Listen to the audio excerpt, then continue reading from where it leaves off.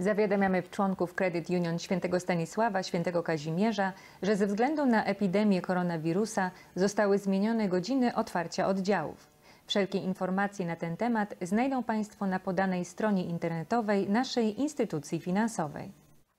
I to wszystko, co przygotowaliśmy w dzisiejszym wydaniu programu naszej Credit Union. Żegnając się, życzę Państwu dużo, dużo zdrowia. Do zobaczenia.